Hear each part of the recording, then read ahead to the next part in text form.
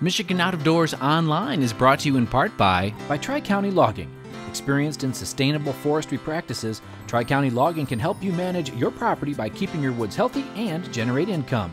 Serving southern and mid Michigan for nearly 50 years, TriCountyLogging.com. We fight the battles no one hears about. We drop into the middle of firefights to rescue others.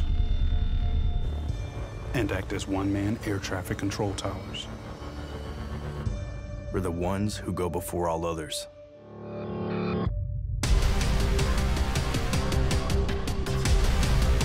Join the fight.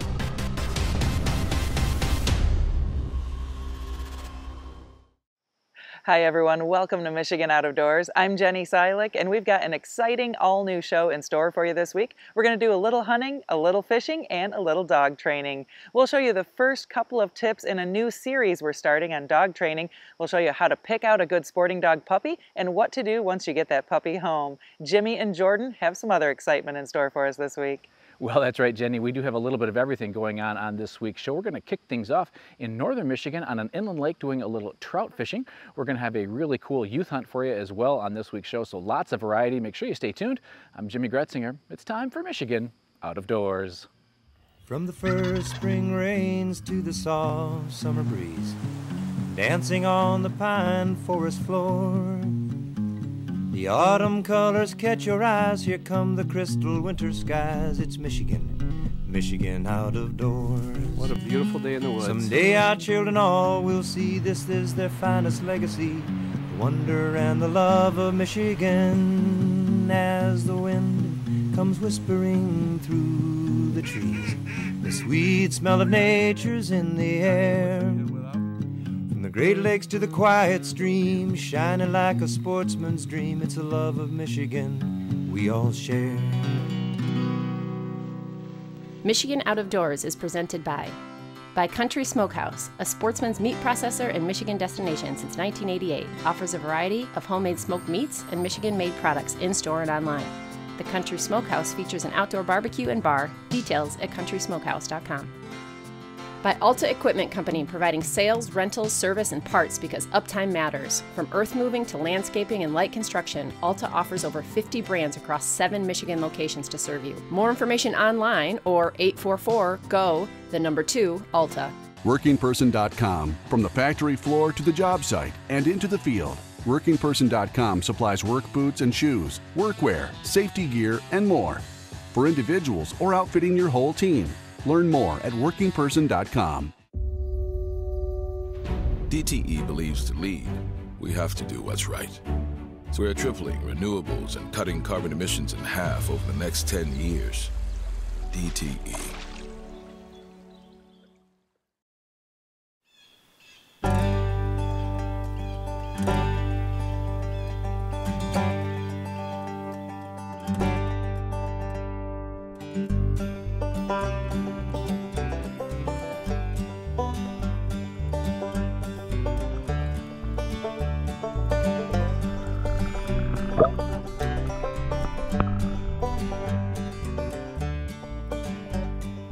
So uh, we're right here up in uh, northern, uh, northeast Michigan, and uh, we're fishing these beautiful, crystal clear, uh, stocked uh, lakes. Um, DNR has them stocked with all three different species of trout, and they are as beautiful as a spot as you can find. And a little tactic we're using here is we're jigging um, soft plastics. Um, we found them um, most likely on the bottom and sometimes suspended, depending on the time of day here. There is a uh, 15 inch requirement for one, uh, for keeping a fish and you're only allowed one. So one 15 inch fish you're allowed to keep, um, which we haven't seen a ton. Um, we've seen quite a bit in the 14 inch range. So just below that we did get one earlier today that was a nice 15 inch rainbow that we're gonna keep and uh, throw on the fire later. Finally we're able to get a fish. It's been a tough, I would say half hour. Uh, we're just taking these RBM jigs and bouncing them off bouncing them off the bottom with, with some plastics and uh, finally was able to get one to take. I mean, they, they nibble, nibble, nibble, and you, are missing more than, you, than you're hitting. But finally was able to pull one up and get it netted, and it was a nice brookie. I would say probably about 11 to 12 inches, and Uh, I mean, this is my first time to these lakes. These guys were out here last year and had a lot of great success. We're thinking the evening is probably going to be a little bit better for us, but hopefully it'll start turning on here pretty soon. Each one of these stocked lakes has a slightly different set of rules, so it's important to pay attention to what you can and can't do on each one. So one thing you have to be careful for up here too is um, on these you can't have any motorized uh, watercrafts. So we have two kayaks and a flat bottom on here. Um, you can you could have an electric like uh, trolling motor out here. Now um, there are multiple ones that you can't have any uh, watercraft on other than like a tube. So you could float on a tube or you could walk around and uh, fish it from there. So what we did is we brought the flat bottom boat down and uh, a couple kayaks so we could get out and kind of reach uh, every point of these lakes. After a few hours of fishing, we decided to pack up and head to another lake. Although we were catching a few fish here and there, they were pretty small, and the guys were confident we could do better elsewhere. So we moved a few miles down the road to a different lake and started catching more and bigger fish almost immediately. They're brown. Oh, brown. Well, we just switched lakes. And then the third cast, oh, I cast it out there and just letting it sink to the bottom and uh, just was bringing it back and this uh, that brown that was suspended there and put up a pretty good fight. You know, trying to target uh, trout in the lakes, you're kind of jigging like you do walleye, but on the end you get a trout. And uh, it's nice to have the day off of work and the only people we've seen today has just been some horseback riders and it's been a beautiful day. We had uh, tough weather. We had 100 degree with humidity last week and now today it's been 75 sunny, no wind. I mean, you can't beat it. So that's this is northern Michigan for you. Let it set for a second. There's another one. There we go. Dude, you're blasting them. Ooh. Ooh, this is this is a good fish. That's a big fish,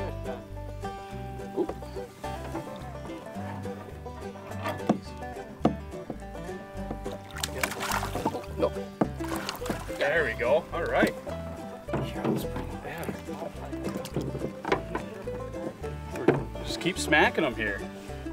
That's the third one. So after we had a pretty slow um, early uh, afternoon at our uh, first lake, um, we tried. Uh, we decided to skip to a lake that Ben and Matt had fished earlier and did really successful.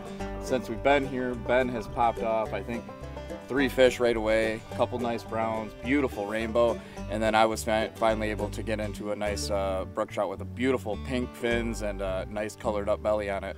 Really, really pretty fish. And, and for, you know, one of the things I really like about these lakes is for stock trout, they're gorgeous in here, uh, especially the rainbows. The rainbow trout are really, really beautiful. The brook trout, I would say, are, you know, just second to them, and then the browns are just gorgeous, gorgeous fish for being stock trout.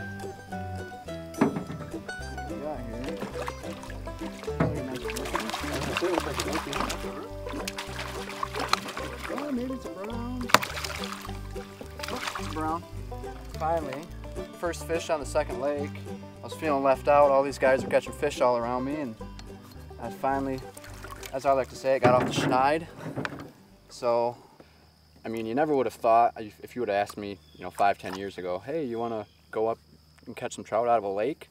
I would have thought you were crazy because, I mean, stream fishing is what we've always done, and wading and casting and just the intimacy of the stream is something that you know you, you can't match. But you come up here when the streams are warm you catch these trout out of this pond it's the best. Cool. Nice brown trout there. Deep brownish yellow color. I would say you know probably the thing that i find most unique about it other than just how beautiful it is is the fact that these trout are sitting here in at the bottom I'm getting 52 degree uh, temperatures, but the surface temps of a lot of these lakes are 70s and 80s. Um, and so it's just very interesting to see so much action uh, in the water columns, like in suspended areas and everything, because as you're progressing through that water column, it's heating up the temperatures that trout wouldn't typically they live in. And so it's just neat to see them so active. You'll see fish feeding on the surface uh, in these lakes all day long. So they're coming up into 80 degree water when they can sit down in 52 degree uh, water. But I think it also lends to a really active morning bite and an active evening bite as well because there's such a vari uh, variation in the temperature throughout that that water column. You know, you get a really definitive thermocline. So. Um, yeah, I mean it's just it's just such a unique experience. Experience we see a lot of our trout sitting in rivers and streams uh, around the state, and so it's just nice to do a little bit of pond fishing and get some action.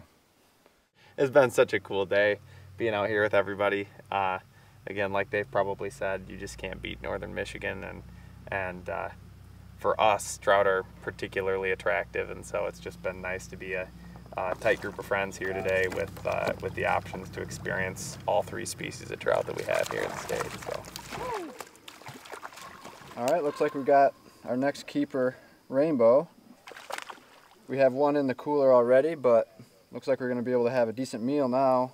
The, the struggle's been 15 inches is the, the minimum length, and we've caught about mm, at least a dozen 14-inch fish, so we've been searching for that extra, that extra keeper so we could have a good meal. So look, really looking forward to it. So after kind of a rough start to this morning and a slower evening, Matt helped uh, make a good decision and coming back to this lake where him and Ben had um, success earlier today. And really, since we've been back here, we've started hitting fish right away. Um, what a perfect evening. The weather, the fish uh, picked up. Uh, it's absolutely perfect, beautiful. Couldn't ask for anything better.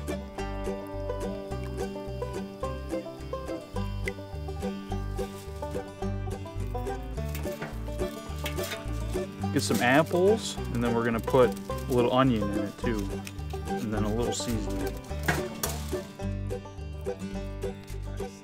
We ended the night with a couple of different trout recipes, one that involved apple and another that involved lemon. I'm happy to report that both were very good. Special thanks to Matt and the crew for letting me tag along on an incredible night of fishing here in Northeast Michigan.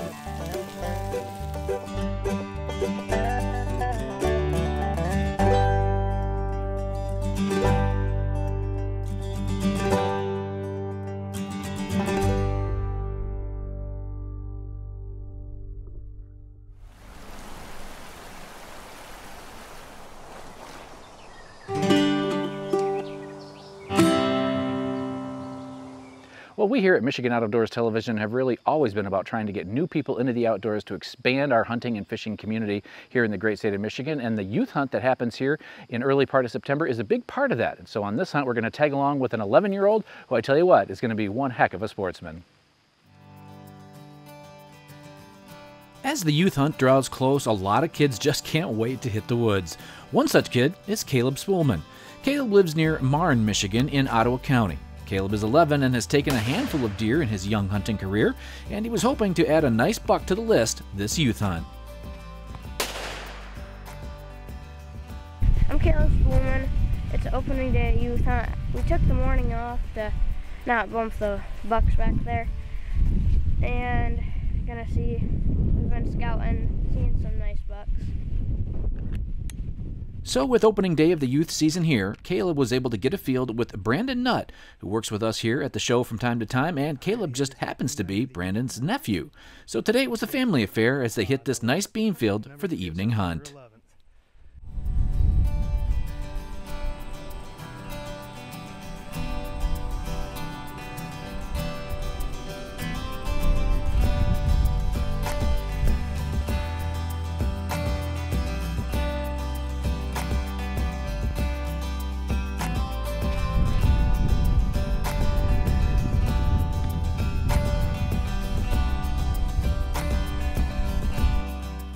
Well, it didn't take long, and some deer started to filter into the field. The question would be would one of the nicer bucks they'd been seeing show up or not? Now, the youth hunt is surprisingly controversial to some hunters. There is a segment of folks that think there should be no youth season. Some don't mind the youth getting first dibs on the deer, but don't like the fact that once the guns start going off, it changes the pattern of the deer. Well, and some think this early season is the best part of all the hunting seasons. So, whatever camp you're in, hopefully we can all agree that whatever we can do to get more kids into hunting is worth doing. As for this hunt, well, things got interesting pretty fast as a nice buck was in the field.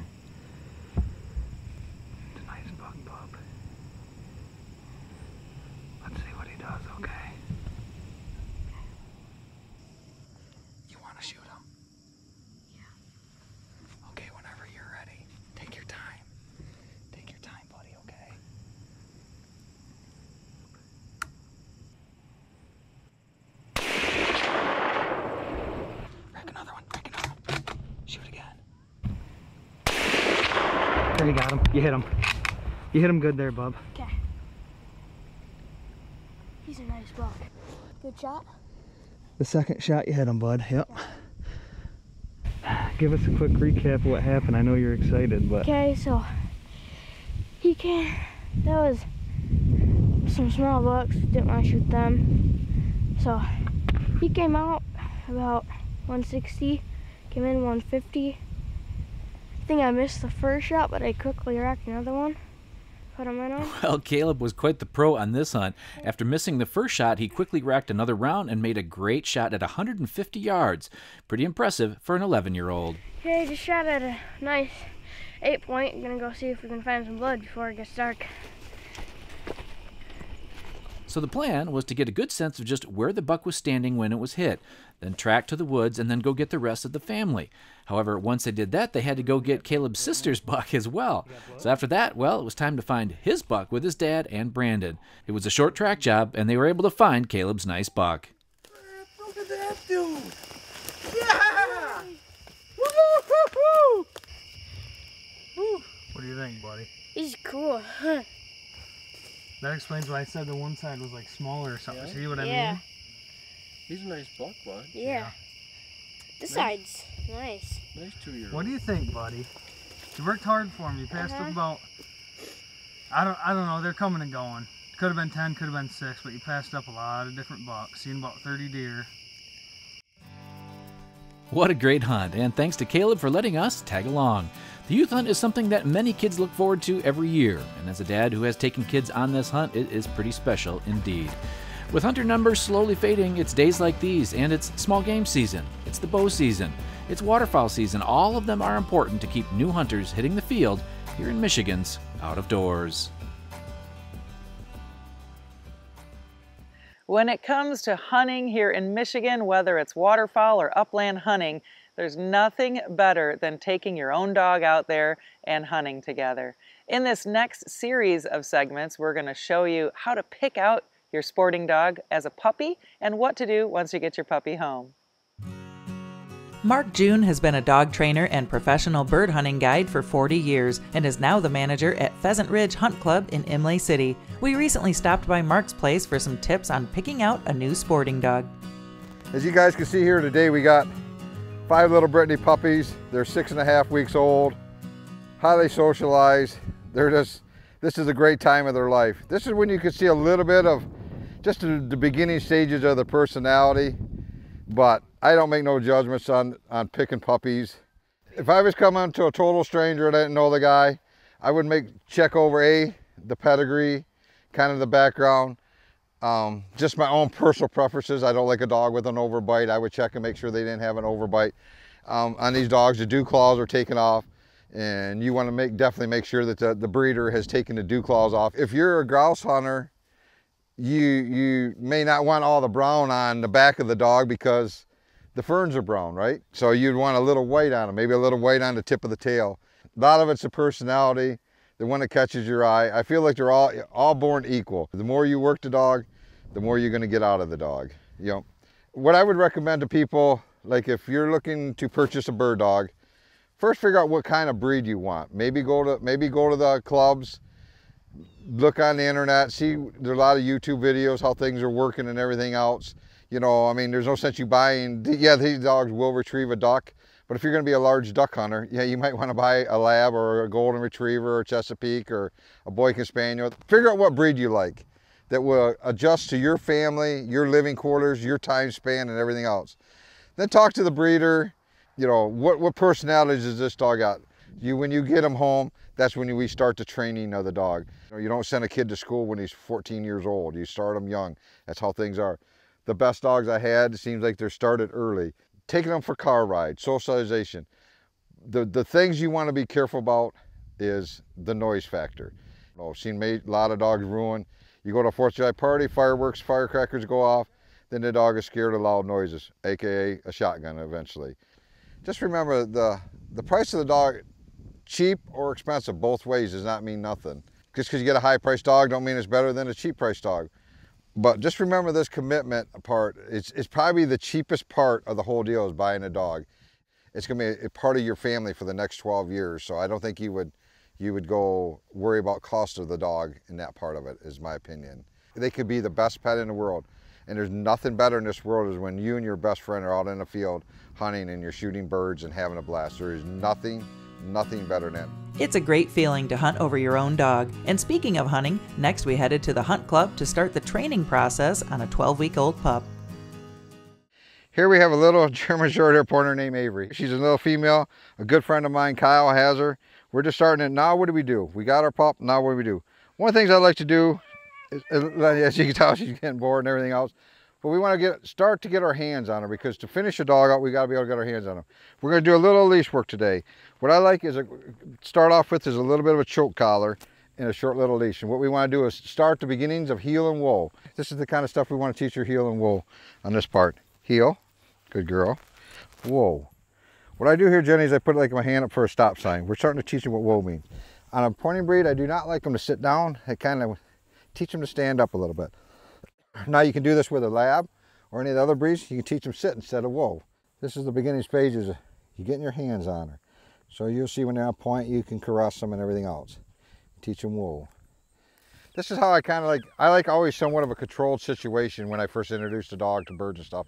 A lot of you can do by yourself, but this is a two-person team. And so today I'm going to help Kyle introduce his dog Avery to the first birds. So I'll go out here and I'm going to drag a line I throw the bird down, so it's like there like that. As I drag the bird, it's flopping a little bit, leaving a little scent. So then I, so now we got about a 10 foot line. I set my tip of the pole down. Avery, why don't you come on in with your dog? Just keep walking her in a little bit. Now she should, when she gets on the scent right there, okay, she's smelling a little bit. Pet her a little bit.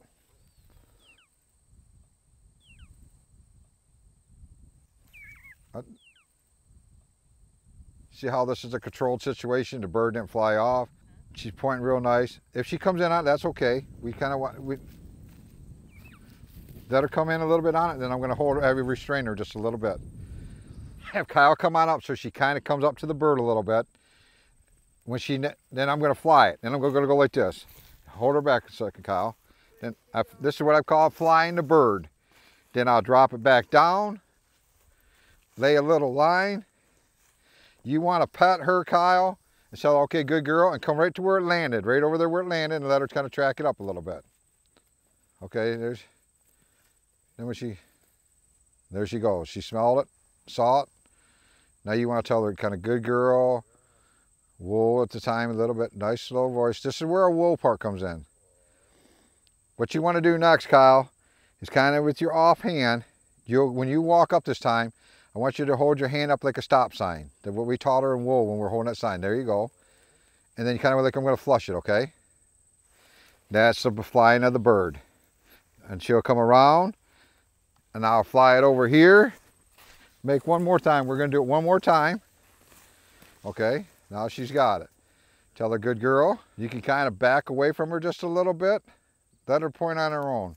As you can tell, this dog has an incredible amount of point incredible amount of intensity. She, she has all the tools. She's, if done right, she should be a real dandy dog. Look how she points, guys. Look how that dog points right there. That's incredible. I grab the bird like this, and Kyle will hold her collar. And I say, good girl. Kind of let her get a little feather, a little taste, and that's good. There's how a pointing dog got introduced to its first bird, folks. And everything was all good and calm, everything else. She didn't catch her first one and she's all positive and everything else. You, you don't want to overdo this little trick, but this is just kind of one of the ones I like to talk about, controlled situation. Next time, Mark will show us how to step up training on an 18 month old dog and shoot a bird over him. Stay tuned for more dog training tips on upcoming episodes. Thanks for joining us this week for Michigan Out of Doors. Make sure you stay tuned in upcoming weeks. There's all sorts of great things happening around our state this time of year. We'll do a little bit of fall fishing. We'll be getting into those hunting seasons, and we'll show you a bear hunt from the Baldwin unit, and we'll be introducing you to a group of young ladies, very special people who were able to harvest some deer. If you'd like to see where we are and where we're headed next, you can always check us out online. Well, that's right, Jenny. Online, always a great way to kind of keep tabs on us. Of course, you can do that through our website. We're also on most of the social media platforms as well as YouTube, so lots of places you can check us out. And we will have a lot of brand new stuff coming over the next several weeks as the hunting seasons are now underway. It is a great time of the year to be a sportsman. I know I say that a lot, but it is so true here in our great state. If we don't see you in the woods or on the water, hopefully we'll see you right back here next week on your PBS station. Michigan Out of Doors is presented by Do you dream of somewhere bigger than your backyard? You can get there with Greenstone. Whether you want to hunt, fish, hike, or just watch the sunset, we're ready to help you own your place in the great outdoors. To learn more, visit greenstonefcs.com. By Greenmark Equipment. Greenmark Equipment is a John Deere dealership network in southwest Michigan and northern Indiana. Greenmark provides sales and services to farmers, commercial businesses, large property owners, and homeowners. Information about pricing and products available can be found online at greenmarkequipment.com. By G5 Outdoors, makers of the Quest and Prime bows, manufactured and designed in Memphis, Michigan. G5 offers a line of archery bows, broadheads, and accessories on the web at g5outdoors.com. Closed captioning provided by Marvo Mineral, makers of Lucky Buck, deer management products including minerals to supplement deer diets year round to improve health and antler growth.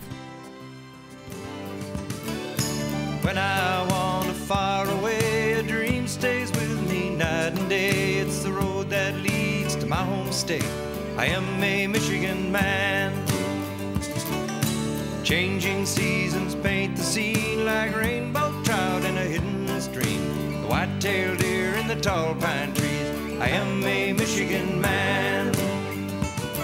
I am, I am a Michigan man. Ask where I'm from and I'll show you my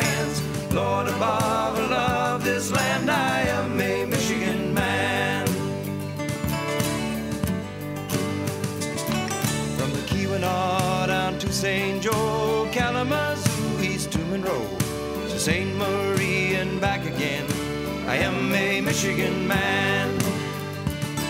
I am, I am a Michigan man. Ask where I'm from and I'll show you my hands. Lord above, love.